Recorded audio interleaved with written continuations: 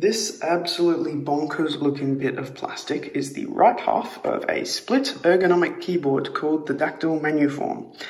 Uh, the idea behind this design being that if you can put your hands at whatever distance or whatever angle or what have you, uh, it'll save your wrists and fingies from some terrible strain later down the track. Uh, so let's get straight into the building. Uh, being a 3D printed part, it's got some massive supports underneath uh, part of what contributed to a three day build time, I think. Uh, and also, it's got that classic sheen in the light here. You can see it of a 3D printed part, uh, which will stick straight through the paint if I chose to paint it without sanding. So we're going to have to sand it. Hey, it's me again, but in higher quality voiceover mode. Here you can see me removing the supports which were added by the 3D printer to allow it to print overhanging material.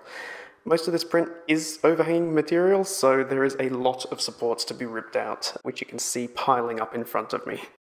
Alright, next up we've got sandpaper, so we're going to start out with the 120 grit, then move to 240, 320 and 1000, and then we can paint. This is more or less what an entire weekend of mine looked like. It was pretty much two days of solid sanding just to get this thing smooth enough for painting. Alright, it's all sanded. It's actually really nice and smooth now, despite what it might look like. Uh, the main thing is, though, that all of that texture is gone, so we are ready to prime and paint it. I totally could have skipped all of this sanding and painting if I just accepted what the uh, 3D printed part looked like out of the printer. I had someone tell me that they didn't like 3D printed things because of their texture, so I set out to prove them wrong. This is what it looked like once it was painted. Uh, unfortunately, the paint I chose was a satin black and it left it very rough, so I actually went over it again with 1000 grit very carefully and it took out all of that roughness and left it really smooth and I think it was a worthwhile step. So it's time for the switches. I got some Alias uh, silent clicky switches. Uh, I needed 54 of them, so I bought six packs of 10. Here they are. They look like um, Silent Reds if you uh, know Cherry MX better, but they do have a click in there just, and that should be just enough to let me type uh, comfortably because I'm just not a fan of the linear switches. If anything, I'd like to type on the loudest, clickiest keyboard I possibly can, but I need to make it a bit quieter this time. So in terms of fitting them in, they've got their Cherry MX profile. They've got these little you can't really see them on the camera. They got these little um, clips there, and the board itself has some nubbles, so they go in sideways. I'm just going to try and make sure they're all in the same orientation because the pins are on one side. Uh, I think I'm going to put the pins at the bottom, so something like this, and then they should just click straight in reasonably tightly. Past me is about to learn a very important lesson in double checking things that are easy to double check and not just following an online guide blindly. So, the guide told me that I only needed 54 of them, but I suppose I really should have counted because this is the 60th one and I kind of broke it a little bit because I jammed it in sideways beforehand. Uh, even then, I would have needed 64, so I'm going to have to order some more. So just yesterday, I got a couple of things in the mail. I got some keycaps, which I'll show off in a second, and I got this. That is about 800 grams, or a pound for those of you living in backward society, of stainless steel, water jet cut. Uh, it's five mils thick, there you go. Uh, and the idea of this was that you can just 3D print a base and uh, be on your way. But I wanted it to be heavy because when you're using this keyboard, you're pushing kind of inwards, uh, and that can slide it. Even though it's got rubber feet, some mass to hold it down would be good. And uh, I don't know, I thought stainless steel would be quite nice. It was reasonably affordable, um, but it comes and it looks like, well, aside from all the gunk on my fingers I've just rubbed off on it, I'll grab my light here. It just kind of looks, eh, right? The edges are pretty, uh, it's really hard to get a light on that. The edges are pretty, like, scuffed. So, of course, this keyboard has two halves. With the other half, I sanded it with the two coarser sandpapers I could to get this more of a um, more of a traditional stainless steel looking finish, this brushed finish. It didn't take too long, but uh, well, this side I started going in, oh, Jesus. Uh, this side I started going in circles, which kind of screwed with it, but on this side I think it looks quite nice. Absolute fingerprint magnet though. Moving right along to the keycaps, probably the most exciting and uh, second most expensive part of this whole endeavour. Uh, I've already assembled what I could of it, keeping in mind that we're actually missing four switches, which were the other most expensive part of it. Um, these are DSA profile, which means that they're all exactly the same. In fact, as far as I can tell, they're exactly the same no matter which way you rotate them as well which is very useful for this keyboard because I need to put a whole bunch of keys in places that they don't belong. So this is the left half. Uh, as you can see, I've left the letters on there because this is going to be a bit of a learning experience, especially with some keys like these ones here, where I'm not going to remember what they are and I'm going to want to look. Unfortunately, the thumb cluster is completely unlabeled because it was going to cost quite a lot to order all the different combinations of sets I was going to need to actually get that uh, all labeled up. Hand-built keyboards need to contain some form of controller circuitry that determines which button you've pressed and when. Uh, because this is a split keyboard, you actually need two controllers and then they need to communicate with each other via a cable or something.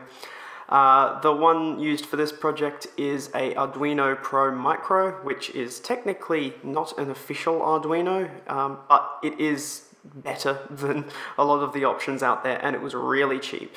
You know, I'm an absolute idiot. I've been trying to use this helping hands. And I've just realized that if I just turn it upside down, then I can make gravity do the work for me. And it's going to be straight, aside from anything where it's like, currently the legs are bent like this inwards. But it turns out that soldering is really boring to watch. Good thing I'm super quick at it.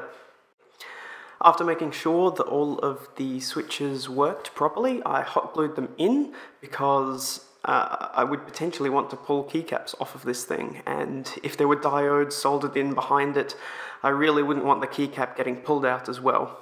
So I've absolutely, it's absolutely disrespected this connector, but it does now plug nicely into there and comes up nice and flush out there. This keyboard is hand wired, which means I need to solder wires to every single row and every single column of the uh, matrix here.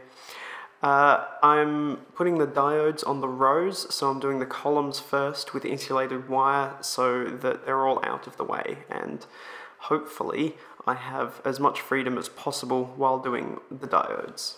Alright, so it took about three hours because each one of these uh, columns took about half an hour to do. Uh, there was a couple of instances where I cut straight through the wire uh, and I had to solder, uh, basically just reattached the rest of it uh, if I'd already done enough of it. So I've got one up here, one down here, something like that. You can barely tell.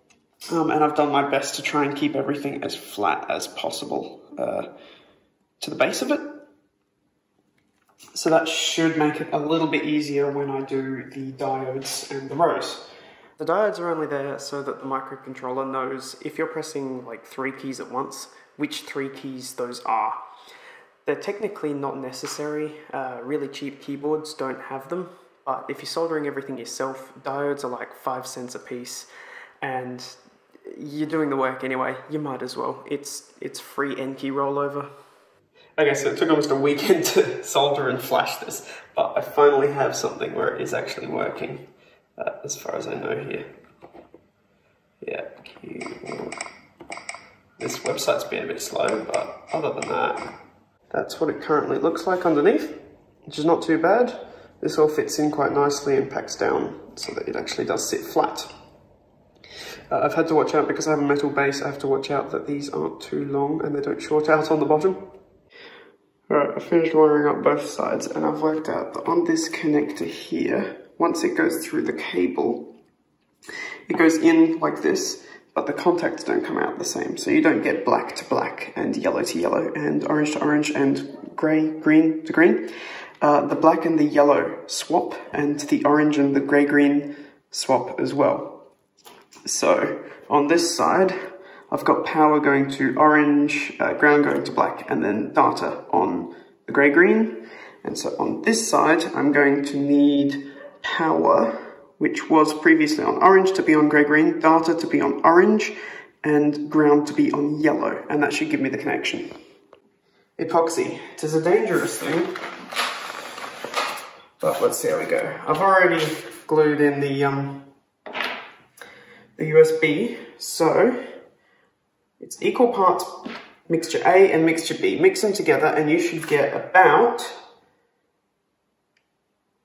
two to three minutes at 20 degrees Celsius, which is pretty much exactly what it is right now. Today's high is 22 degrees Celsius. Push. Sweet. Okay. So that. There we go. Alright, done. Oof. I'm gonna go wash my hands. I don't even want to stop the recording right now.